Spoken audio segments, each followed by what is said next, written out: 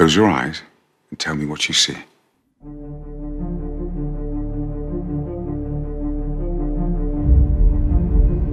The library.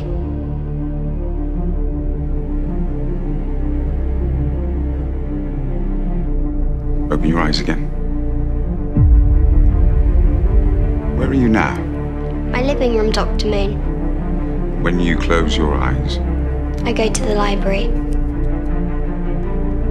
Go to the library now.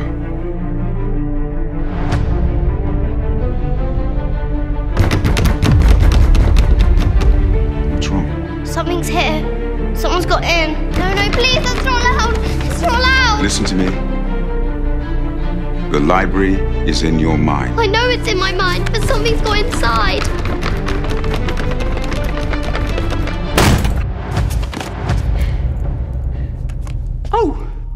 hello.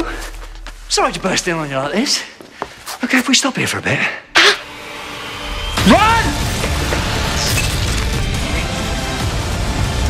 Not everyone comes back out of the dark. Hey, who turned out the lights? Run! Hey, who turned out the lights?